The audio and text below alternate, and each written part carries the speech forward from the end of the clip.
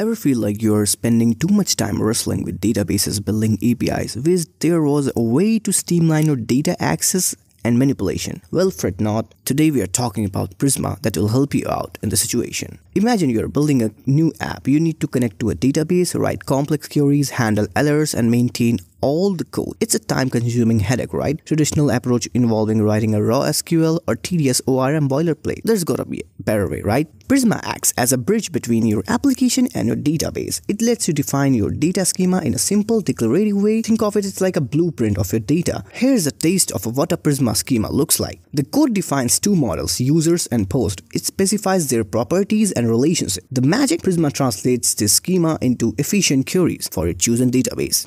So what does Prisma buy you? Here are some benefits like reduced development time, improved code maintainability, and strong type safety and automatic migration. Prisma empowers you to build data-driven application faster with less hassle. So you might be wondering, is Prisma complicated to use? Absolutely not. Prisma integrates seamlessly with popular frameworks like Node.js and Next.js, plus it offers a powerful command line interface to manage your schema and database interaction. There are tons of tutorials and resources available online to get you started quickly. So yeah, this was the explanation of Prisma